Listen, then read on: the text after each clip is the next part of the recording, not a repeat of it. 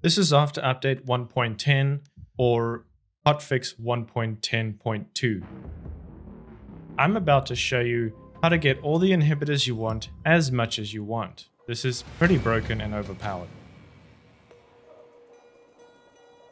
So, I did absolutely nothing to deserve that inhibitor. Let's go ahead and max out my stamina level at level 26. It took me 14 minutes to go from level 16 to 26, maxing out on my stamina. That's a very short amount of time to be able to max out your stamina level. And you can go ahead and do that again for your health.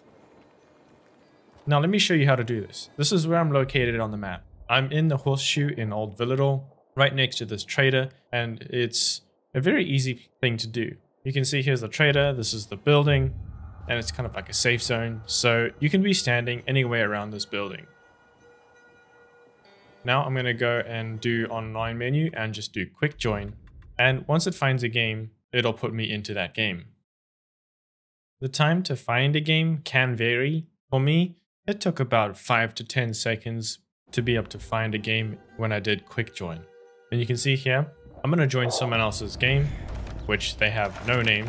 I grab an inhibitor, sometimes it even gives you two, and then I'm going to go ahead and drop out. Nothing else to do there. He's probably confused as to what just happened. Now I'm going to show up in my game again, and for some reason it glitches out and just shows the challenges and side quests that I've already completed just a few minutes ago. So it might do that for you as well. But then it's going to go ahead and show that I got an inhibitor and I can upgrade.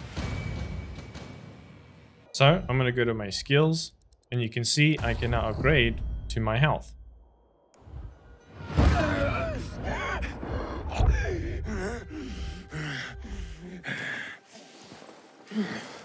Now, this is a super broken glitch, and I can't believe I'm actually doing this. I can do this as many times as I want. Go ahead and quick join another game, and jump into another one with someone else who probably thinks I'm confused and I don't really know what I'm doing in this game and or maybe they think I accidentally joined it.